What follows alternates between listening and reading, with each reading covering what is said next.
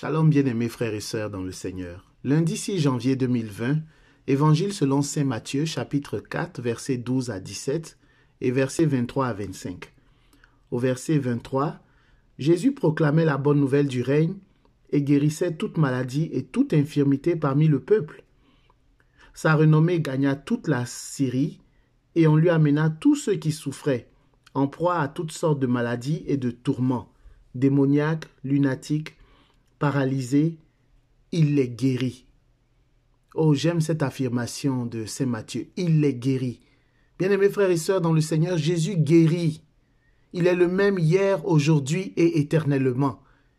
S'il l'a guéri hier, il guérit encore aujourd'hui et il continuera de guérir. Que nous le voyons, que nous ne le voyons pas, Jésus continue son ministère de guérison. Quelle bonne nouvelle. Cinq fois, vous l'aurez remarqué avec moi, cinq fois l'adjectif indéfini tout est répété afin d'insister sur la portée universelle du comportement de Jésus. Bien-aimés frères et sœurs, comme André amena Pierre à Jésus, tu peux toi aussi amener à Jésus tous ceux qui souffrent, en proie à toutes sortes de maladies et de tourments.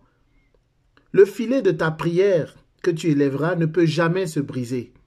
Tu peux mettre autant de personnes souffrantes, autant de personnes dans le désespoir, dans ce filet de la prière. Lorsque ces personnes seront touchées par Jésus, c'est ainsi que sa renommée continuera de s'étendre, et de grandes foules se mettront à le suivre. Nombreuses sont les personnes qui attendent de voir les miracles, les guérisons, les prodiges de Jésus, avant de se convertir ou de croire davantage. Les foules qui suivent Jésus viennent entre autres de la Décapole. Décapole signifie littéralement les dix villes.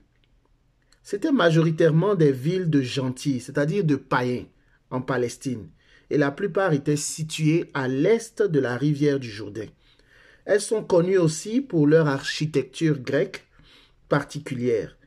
L'universalité de la bonne nouvelle se constate ici aussi, en ce sens qu'elle rejoint tout le monde, la bonne nouvelle ne fait exception de personne. Elle rejoint tout le monde. Elle rejoint les païens. C'est pourquoi notre prière, notre évangélisation doit rejoindre aussi bien les croyants que les non-croyants. Nous ne pouvons plus rester inactifs. Il existe des foules de païens qui ont besoin d'entendre cette bonne nouvelle. Il nous appartient donc, bien-aimés frères et sœurs dans le Seigneur, de chercher les occasions de les rejoindre, de leur annoncer le Christ par la parole, soit aux incroyants, soit aux fidèles, nous dit le catéchisme de l'Église catholique. En son paragraphe 913, le catéchisme de l'Église catholique écrit aussi Ainsi tout laïc, en vertu des dons qui lui ont été faits, constitue un témoin et en même temps un instrument vivant de la mission de l'Église elle-même, à la mesure du don du Christ. Que la paix du Seigneur que la grâce de notre Seigneur Jésus-Christ abonde dans vos cœurs. Amen.